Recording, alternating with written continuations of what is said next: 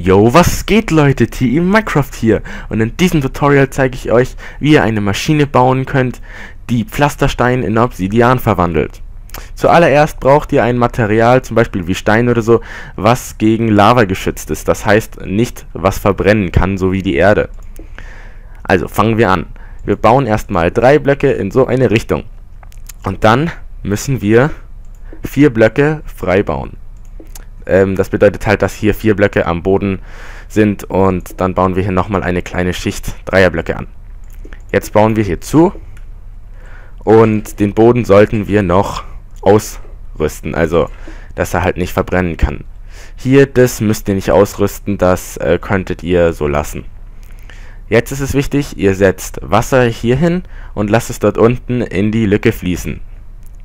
Die Lava setzt ihr hier hin und wenn ihr wartet, dann seht ihr, ihr habt einen Pflasterstein bekommen. Wenn ihr jetzt Obsidian haben wollt, müsst ihr Redstone auswählen und kurz nachdem ihr den Pflasterstein entfernt habt, einfach äh, Redstone hinsetzen. Und wenn ihr und wenn ihr es richtig gemacht habt, dann wird daraus ein Obsidian-Block. Wenn ich das nochmal mache, kommt wieder Obsidian raus. Wenn ich nichts hinsetze, kommt sofort wieder Pflasterstein raus. Ja, ich hoffe, euch hat dieses Tutorial gefallen.